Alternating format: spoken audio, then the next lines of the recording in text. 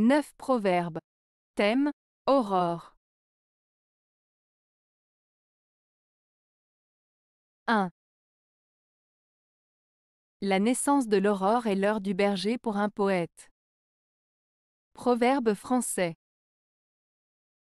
Ce proverbe français, La naissance de l'aurore est l'heure du berger pour un poète, signifie que les moments les plus propices à la créativité et à l'inspiration pour un poète se situent au tout début de la journée, lorsque l'aurore se lève. C'est à ce moment-là que le poète se sent le plus connecté à la nature, à la beauté du monde qui s'éveille, et que ses idées et ses vers peuvent jaillir avec plus de facilité.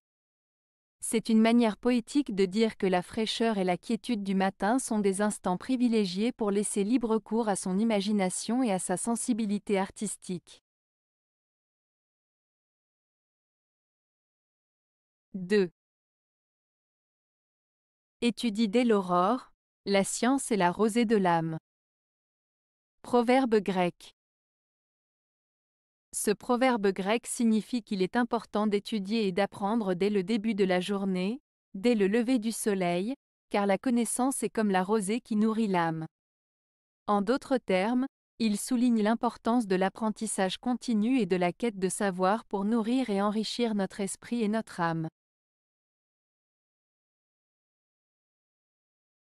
3. Là où il y a beaucoup de coques, L'aurore tarde à se lever. Proverbe grec. Ce proverbe grec signifie que lorsque plusieurs personnes veulent diriger ou être au centre de l'attention, les choses prennent plus de temps à se mettre en place ou à avancer. Cela illustre l'idée que trop de personnes voulant être les premières peut causer des retards ou des complications. 4. Même si le coq ne chante pas, l'aurore vient. Proverbe afghan. Ce proverbe afghan, même si le coq ne chante pas, l'aurore vient, signifie que même si quelque chose ne se passe pas comme prévu ou que quelqu'un ne fait pas son travail, les événements continueront de se dérouler naturellement. En d'autres termes, le cours des choses ne dépend pas toujours des actions ou des attitudes des individus. L'aurore arrivera inévitablement, peu importe si le coq chante ou non. Cela souligne l'idée que certaines choses sont inévitables et que la vie suivra son cours, même si certaines personnes ou éléments ne remplissent pas leur rôle habituel. 5. Si l'aurore est pure et brillante le jour de Saint-Clair, les légumes seront beaux. Proverbe français. Ce proverbe français fait référence à la météo le jour de la Saint-Clair, qui est le 9 novembre. Selon la croyance populaire, si le temps est clair et ensoleillé ce jour-là, les légumes pousseront bien et seront beaux. En d'autres termes, une belle journée à la Saint-Clair est considérée comme un présage favorable pour la croissance des légumes. Cela illustre comment les proverbes traditionnels étaient utilisés pour prédire ou interpréter les conditions météorologiques et leur impact sur les récoltes. 6. À la Sainte-Isabelle, si l'aurore est belle, et s'il fait soleil au matin, c'est du bon pour tous les grains. Proverbe français. Ce proverbe fait référence à la météo à la date de la Sainte Isabelle, qui est le 22 février. Il suggère que si le temps est beau et ensoleillé ce jour-là, cela présage une bonne récolte pour les grains. En d'autres termes, une belle aurore et du soleil le matin le jour de la Sainte Isabelle sont considérés comme des signes positifs pour les cultures de grains. Cela souligne l'importance de la météo dans l'agriculture et la tradition populaire liée au dicton météorologique. 7.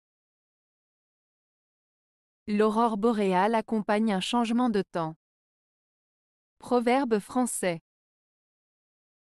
Ce proverbe français, l'aurore boréale accompagne un changement de temps, fait référence à la beauté et à la magie des aurores boréales, ces phénomènes lumineux qui illuminent le ciel nocturne dans les régions polaires.